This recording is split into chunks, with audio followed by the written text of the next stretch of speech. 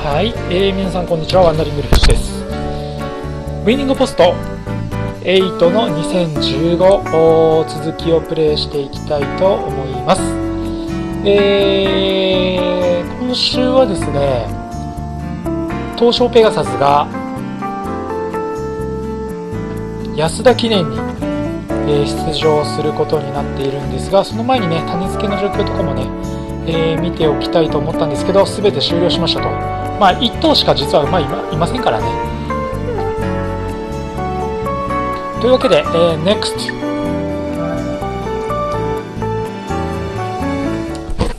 さあ安田記念です。東証ペガサス8番人気。頼むぞ。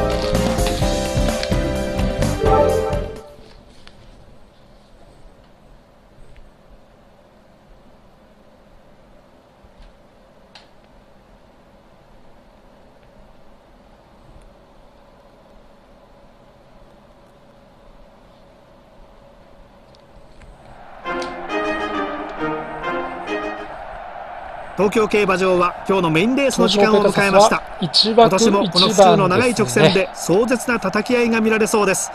さあ春のマイル王決定戦 G1 安田記念の発走ですさあ最後は大外枠のブロケード。ゲートに入って体勢が整いました。スタートしました。ワールドキング。好スタートを切りました。綺麗なスタートを切りました。8番ワールドキング行きました。ブロケー出ドこれに続きます。感じがありますね。エイコンダンスそのうちに続いています。内からはザワンダー、その外まあ、がアジシバ王サスはいつも先内からは東証ペレースガサス並んでいて2番明治タイガー。その外にスピーディータイガまあその外からシャダイアイ一バ枠一番。ーその外にサニーシプレー。まあ青の帽子影響はないかなと思いますケアレスアクションその後ろこれに続いてアサカシルバー並んで4番北斗フラッグその後ろからは結城ただじり安全かじりっと下がってややハイペースといったところでしょうか。これが先行勢にどう影響するか。ここでリード80先頭に変わりましさあそろそろ前にザワンダーほとんど差がありません。もう最後の直線です。4コーナーカーブからさあどっからか爆弾割ってこいリード80ペガサスダメか。ザワンダー。先頭ちょっと2番手は全然見せ場がなさそうですね。先頭を捉えるか。さあブロケード。一気に来た。見せ場がない。あと 200m うわーザワンダー。厳しいですねかし残りわずかうんザワンダ前も詰まってるし先頭厳しい。ブロケード追いすがります。ザワンダーザワンダーまあ一着。一段となってゴールですけど。ザワンダー見事に一着、まあ。世界の強豪の前に日本勢敗れま7した。着8着あたりですかね。ちょっと苦しいレース展開でしたね。レコードだ。9着ですか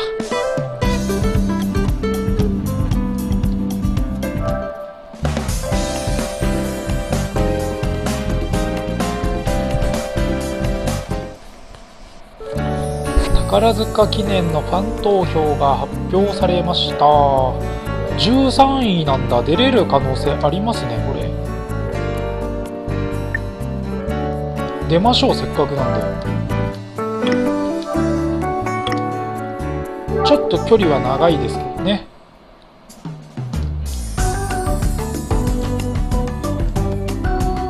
あちょっとまだオンライン対戦に出れるほど馬が揃っていないので。おいおいですね。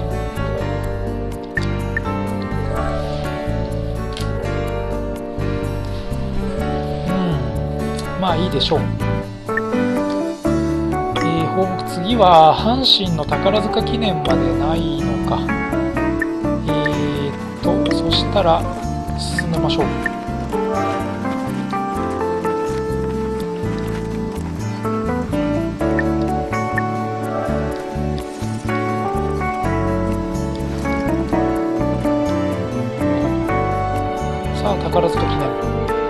子は悪いのか。ちょっとあんまり期待できないですけどね。まあお祭りっていうことで。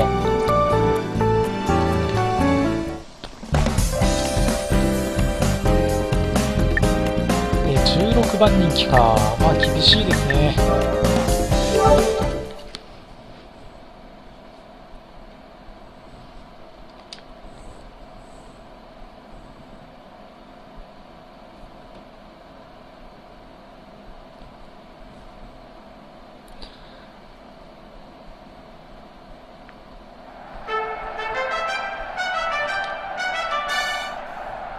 年上半期の競馬シーンを沸かせた優駿がえーここ阪神競馬場に集結しました。えーあなたのそして私の夢が走ります。4枠のさあいよいよ7グランプリ宝塚記念の発走です。さあ最後は大外枠のハシローディゲートに入って体勢が整いましたスタートしました好スタートを決めたのはスピーディータイガーハシローディこの馬も好スタートを切りました。さあなかなかいい右のカムイ位置につけてますよ前に行きそうです。スピーディータイガーそれに続いています。ね。さらにはホリスキー18番ハシローディその後15番誰だ？ろもう一度先頭から見ていきましょう。ね。先手を取ったのはハギノカムイハギノカムイオーオーそして大きく離れてホリスキー。この位置ですこの辺りで各馬第一コーナーのカーブに入ります。あ綺麗だな一番人気の一茂現在わ先端に取り付いています。もう一度先頭から見ていきましょう。先手を取ったのは萩野カムイそしては大きく離れてポリスキね。ーこの位置です。その隣にピュアシンボリ橋ローディそれに続いています。その後ろからはスピーディータイガー。好位置をキープしています。一茂東証ペガサス。すぐ後ろ先頭から最高峰までおよそ一茂なんです20馬身これは縦長の展開です。その後ろに競泳プロミスこの辺りで各馬第3コーナーに入ります。さあ先頭は依然としてそろそろ15番萩野カムイじわっといってほしい王ここで先頭が入れ替わりました。えーユアーシンボリ7番の青い帽子まさに2番手に控えました。今真ん中あたりを橋ローデ追走中ですね。ィ3番手一茂いい位置安城のゴーサインに応えるか。この辺りで後続がぐんぐん追い上げていきます。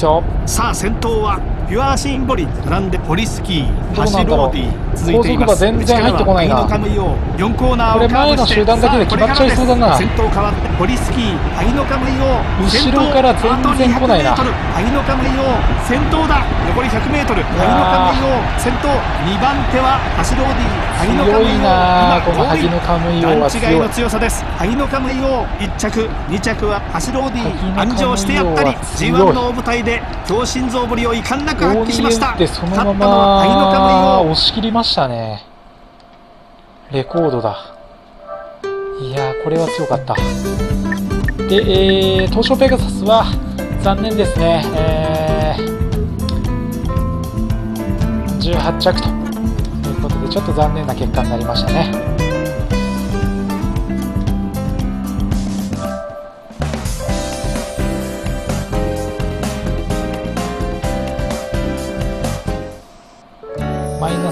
70万円か。厳しいな。またお客様ですか？何でしょうか？獣医施設が見当たらないと。なるほどね。お金に余裕があればね。誰の視線を感じる？宝塚菊夫さん。えー、というわけで先に進みましょう。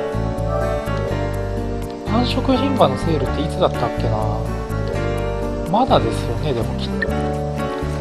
であればちょっと馬の情報を見てえー、8月3日の関谷記念まで出番はなさそうなのでちょっと先に進めましょう。8月の1週目ぐらいまでここはオート機能で、えー、ガンと進めますね。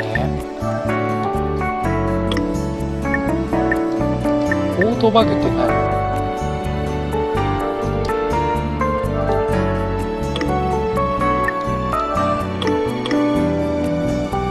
オート進行だよオート進行8月の3週目まで進めちゃいましょう。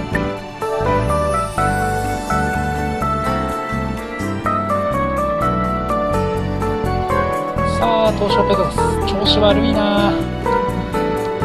G3 の東証ペガサス。まあ勝ってくれても良さそうなもんなんですけどね。入居はどうやってさせればいいんだろう。コマンド。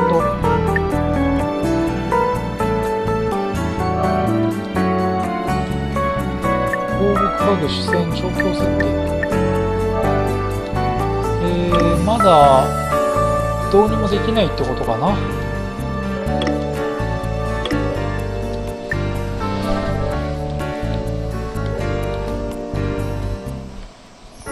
が雨降ってますね。4番人気久しぶりに勝ってくれ。赤字が続いてるからな。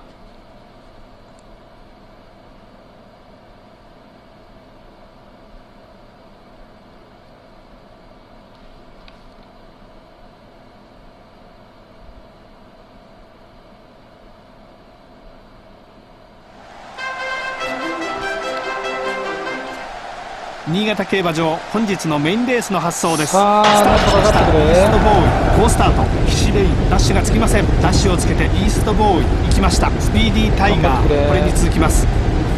その外に色の若駒その外から名将キングその外に桜シンボリその外から岸レイ。ン内からはタイムリーバンド5番の赤い帽子がその後ろ東の横にペガサス。アキビンモペルソングこの馬もこのグループその外にサマーデライトアグネス・ミサイルそのうちに続いています。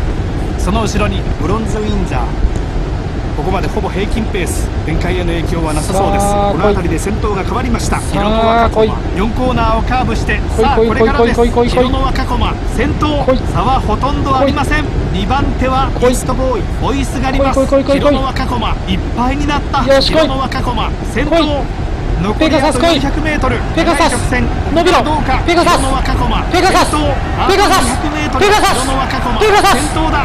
しかし後続の足。どうだ？あと 100m 東証ペガサス。逃げ切れ逃げ切れ逃げあーどうか？微妙だ。大激戦のゴール前。微妙だっ果たな非常に微妙でしたねこれは際どい勝負。わからない。ゴールの瞬間もう一度 VTR で確認してみましょう。なんとか勝ってるか。どうだ。わからないな。わからない。同着なんじゃないの。うわー鼻差で負けてる。残念なんとか勝ってるようにも見えたんですけどね。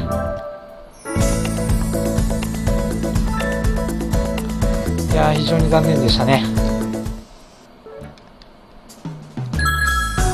えー、また瞬発力がついたんだ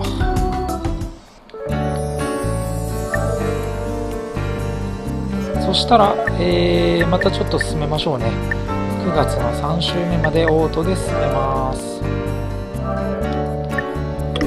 と繁殖インバセールは10月の1日からか。はいじゃあ進めます。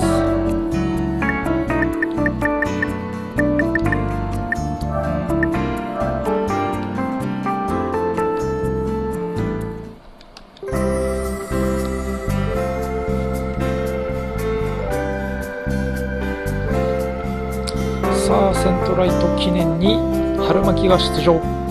期待しましょう。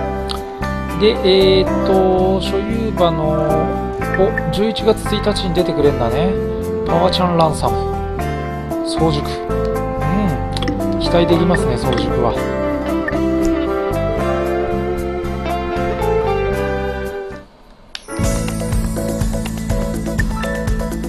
13番人気か。まあ G2 なんで見まし見ますか。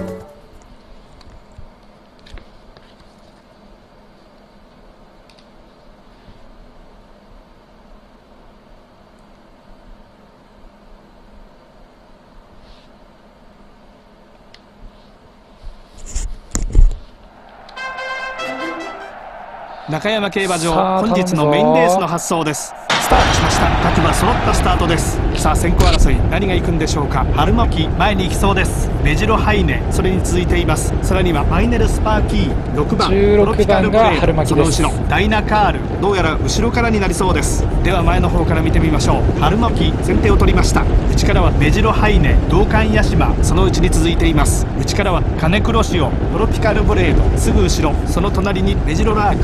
この辺りで各馬第1コーナーから第2コーナーへ向かいます。実一番人気のダイナカール現在最高っかりなんでしょうけど全然わからないですね。ごめんなさい。ここも連勝なるでしょうか。もうちょっとねもう一度進んでくれると見ていきましょう。先手を取ったのはいいんですけど同感ヤシマ少し間が空いてカネクロシオ1984年そかなの隣に今アルマキ3年か4年か 1000m を通過しました。ここまでほぼ平均ペース。展開への影響はなさそうです。83年ですね先頭から最高峰までおよそ僕は20馬身。これは1高歳長の展開でです。さすがに先頭から見ていきましょう。同感ヤシマ先手を取りました。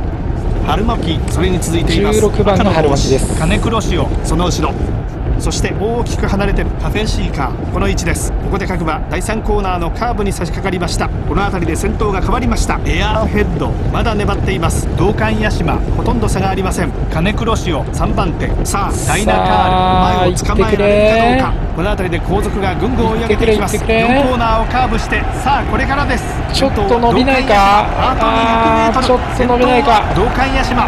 伸びないか。誰だ？強い。メジロハイネ抜けた。ダイナカール迫るメジロハイネかメジロハイネ1着。すごい足でしたね。どうやらダイナカールメジロハイネ見事トライアルを勝利。本番に向けて夢が広がります。いやー強い競馬だった。5着になんとか入選はしてますね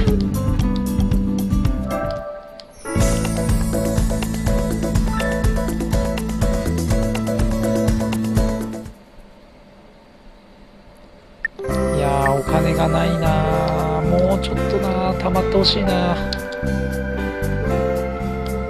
マイナス664万円か。繁殖牝馬のセール行ってみようかな。サンサン。サンサンね。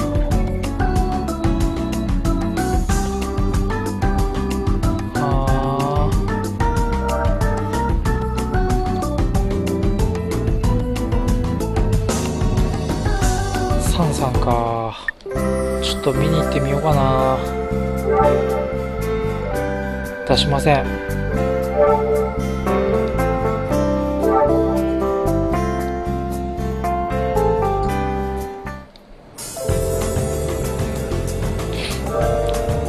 ロイヤルハイブ。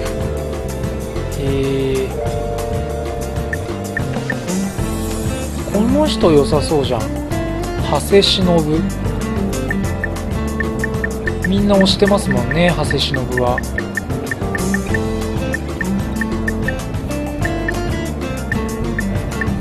長谷忍にしよう。何歳 ?6 歳。いいじゃん。長谷忍顔。2億まで出しましょう。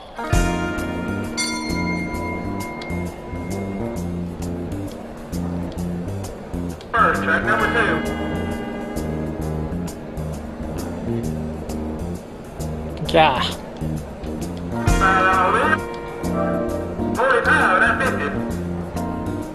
ギャー。2億以上は出せないよ。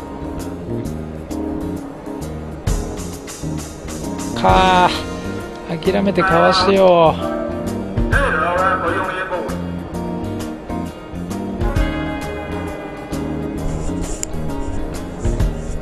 これ以上は出せないよ。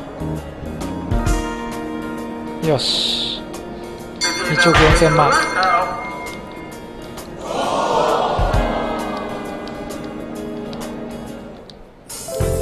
いやもうお金ないっす。で、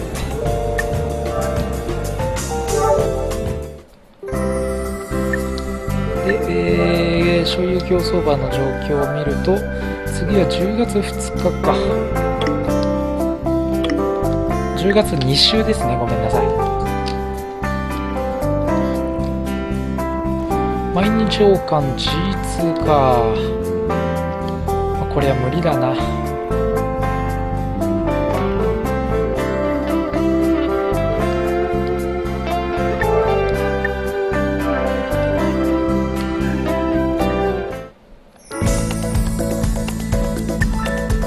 5番人気じゃねえ。え勝ってくれたの？このパターン多いな。見ればよかった。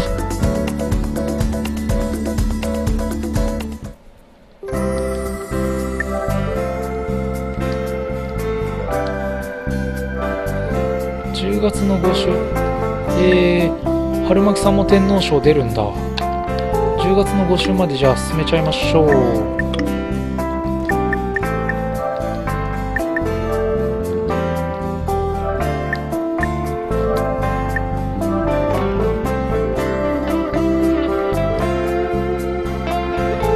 春巻きは除外されてる。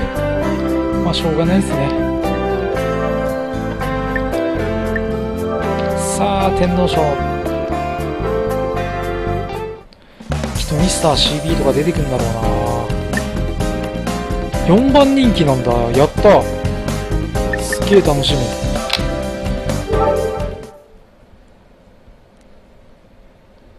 これいきなり G1 制覇とかあるな。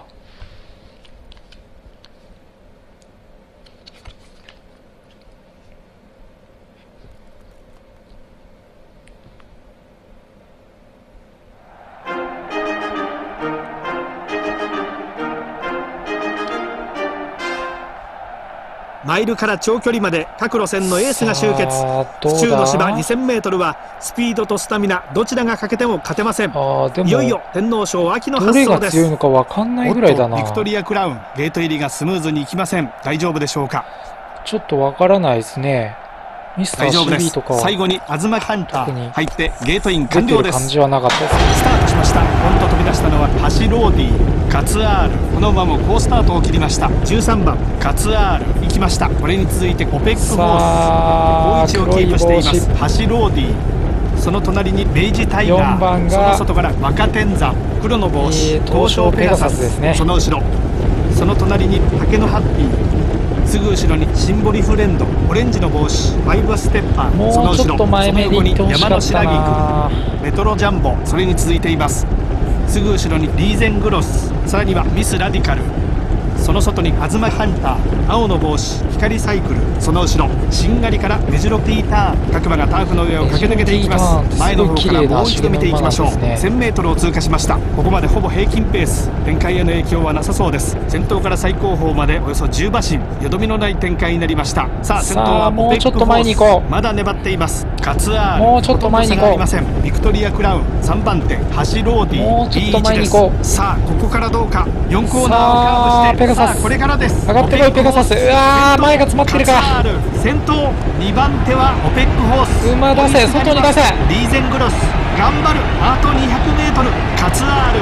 先頭ペガサス。しかし後続の足色もなかうなか。わーダメかー。ちょっと実力的に早かったですね。まだ挑戦するのは。ちょっと勝ち目がなかったかな。見事な G1 勝利です。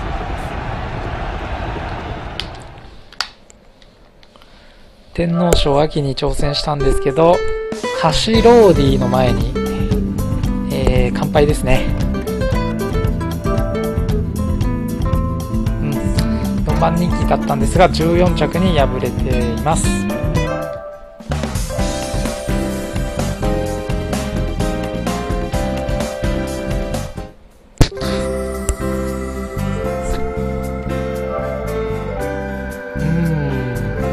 ワちゃんランサムか。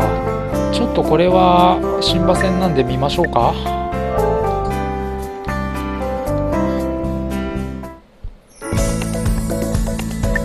あわちゃんランサムは3番人気か。頼むぞ。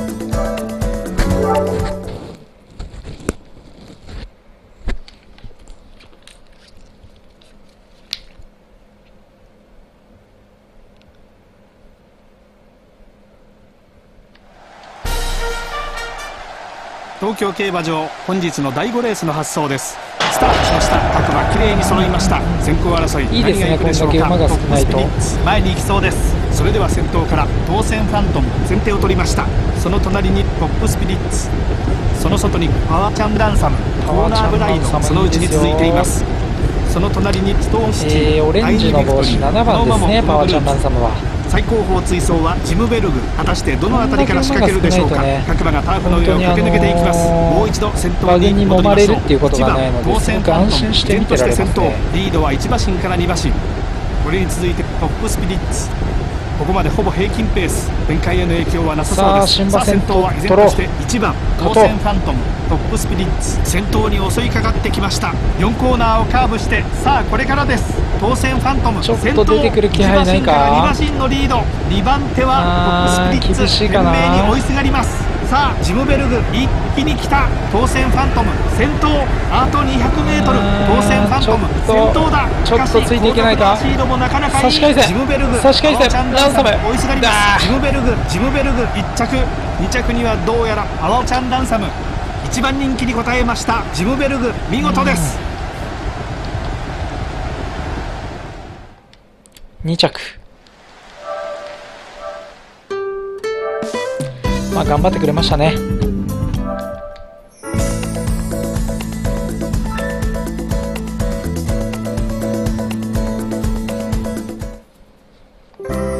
ジャパンカップ円ないんで進みましょう。で、えー、馬情報を見て、えー、次は12月月4週うんまあ年明けまでもう一気に進めちゃいましょう。なんか勝てる気がしませんからね。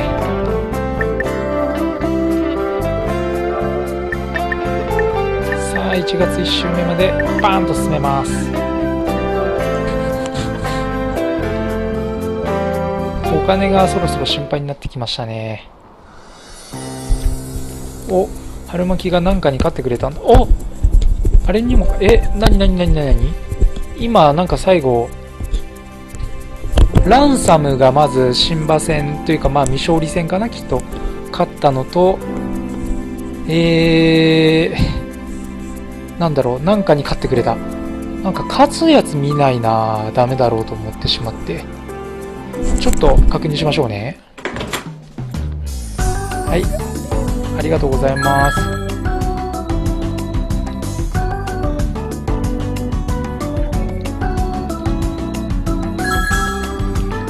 が伸びてきたって言ってますね、ランサムが。えーっと、東証ペガサスが何に勝ったんだろう中山記念じゃないな、なんだ？えっ、と、阪神カップ、えー、逃げで粘って2着だったんですね。で、春巻きがチャレンジカップに13番人気で1着か。頑張ってくれましたね。ありがとう。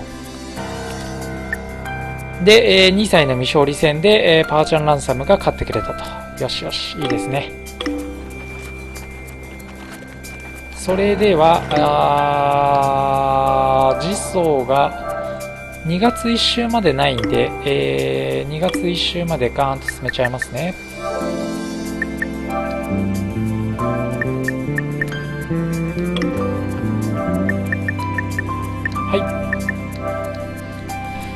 桜豊を本当に期待してるよ。7億かかってますからね。で春巻きです。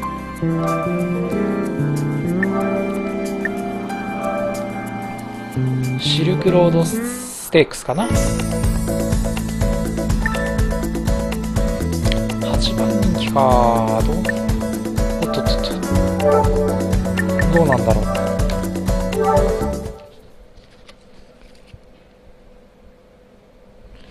すごく期待はしているんですけどね。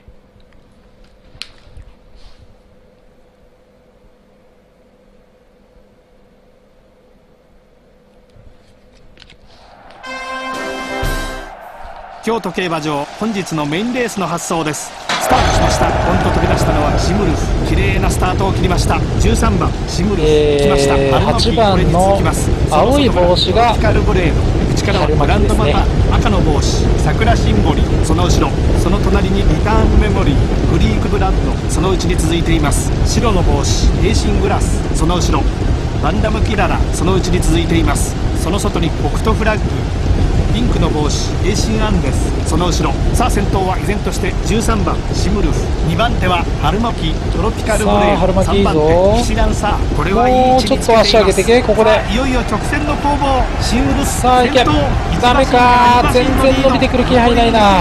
シムルス先頭だ。しあ厳しいか。あ厳しいですねトロピカルブレード。1着。2着にはどうやらフォートアノン。見事に勝ちました。トロピカルブレード。騎士ランサー。完敗です騎士ランサー。に沈みました。知ってる馬の名前だな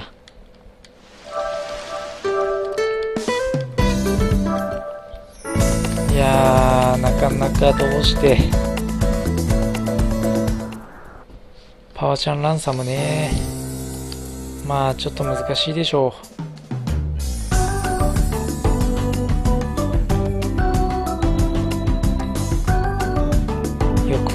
ねこんな弱小牧場に人が。えー、オート進行で、えー、5月の1週目までもう進めちゃいますね。はい。ランサムは4着に敗れてますね。ただ次のやつで1着でなんか勝ってくれてるのと、ペガサスも何かで2着に入ってますね。ペガサスまた1着。ランサム18着か。ちょっと戦績確認しておきましょうね。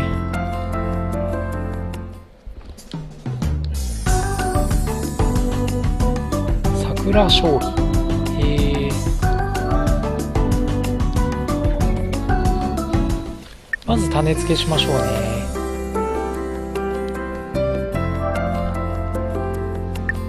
どれがいいかな。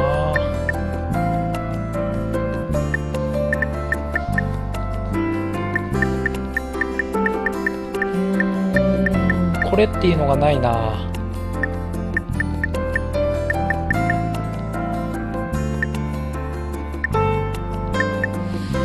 いやこれっていうのがいない。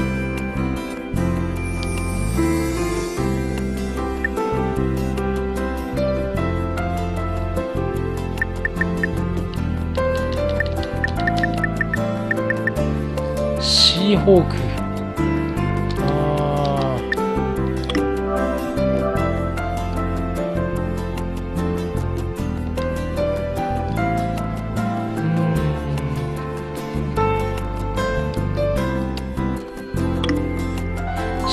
フォークつけとくか1回ぐらい。もう21歳だしな。で鈴サフランは誰にしようかな。ドンにしようかな。爆発力高そうだし。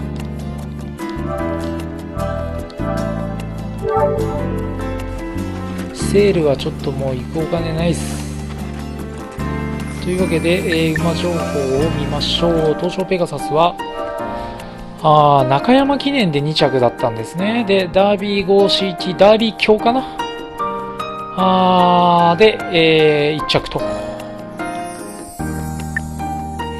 春巻きは、あー、厳しいな。日本ピロウィーナーとかいたんですね。いやいやいや、パワーチャンランサムさ、桜花賞18着でオークスに出ようって思っちゃダメだよ。で、桜豊を。これ名前付けられなかったんだ。このままなんだ。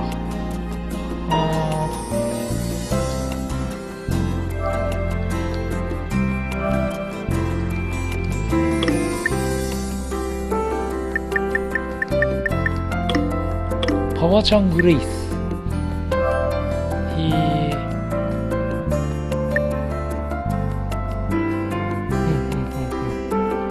早熟ね。じゃあとりあえず、えー、5月の3週目まで進めましょう。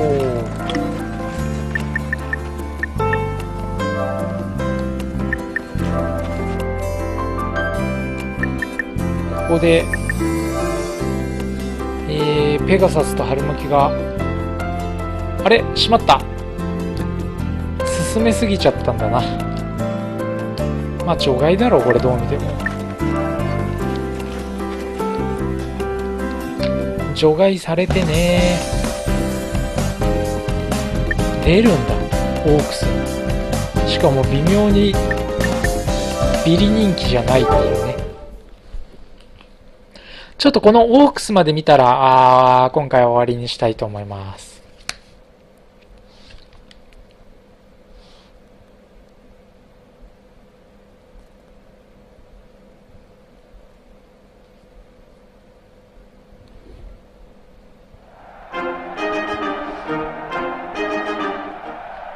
中の芝 2400m という過酷な条件に果敢に挑む乙女たち。今年のレースにはどんなドラマが待っているんでしょうか？3歳牝馬の日本一を決める優春牝馬オークスの発想です。さあ最後は大外枠の西のシャトルゲートに入って体勢が整いました。ススタートしました。ポンと飛び出したのはレイクビクトリア。綺麗なスタートを切りました。ダッシュよくレイクビクトリア行きました。続いて前へ行くのはエアセーカンさらにはアフリカンジハード。7番アイノフェザー。その後ろアドマイヤシャワー。後方からでは前の方から見てみましょう、えー、先手を取ったのはアイノフェザー。その外にエアセーカンさらにはエアジャック。内からはイソノボールドその外からパワーチャンダンサム。その後ろに西のシャトル。アラートそのうちに続いています。この辺りで各馬第1コーナーをカーブして第2コーナーに向かいました。一番人気のダイアナソロン。現在先端に取り付いています。レイクビクトリア。前走に続いてここも連勝なるでしょうか。もう一度先頭から見ていきましょう、えー、エアセーカ先手を取りました。その隣にレイクビクトリア。すぐ後ろにエアジャック先頭から最後方までおよそ10馬身よどみのない展開になりました。その外からパワーチャンランサムこれに続いてアイノフェザーアラートすぐ後ろ好位置をキープしています。ダイアナソロンその隣にアフリカンジハードすぐ後ろにトールチャーリー。その外からスイートショー内からはイソノボールドロングレザーすぐ後ろ赤の帽子ジムベルグその後ろ最後方にアドマイヤシャワー。この辺りで各馬大欅の向こう側を通過。さあ先頭はエアジャックエアジャック後続を引き離します。レイクビクトリアほとんど差がありません。ランサムいけ。ランサム3番手4コーナーをカーブしてさあこれからです。エアジャック先頭。ランサムほとんどありません。2番手はパワーチャンランサム、先頭を捉えるか。さあランサム。一気に来た。いいぞいいぞ。いけいけいけいけいけいけ頑張れ。差し返せ。ランサム。あーダメか西のシャトル。先頭ダメだ追いすがります先頭は西のシャトル1着でゴール西のシャトル1着。2着にはどうやらダイアナソロン。見事に勝ちました。西のシャトルダイアナソロン。2着止まり。しかしなんとか面目を保ちました。いや厳しかったなうん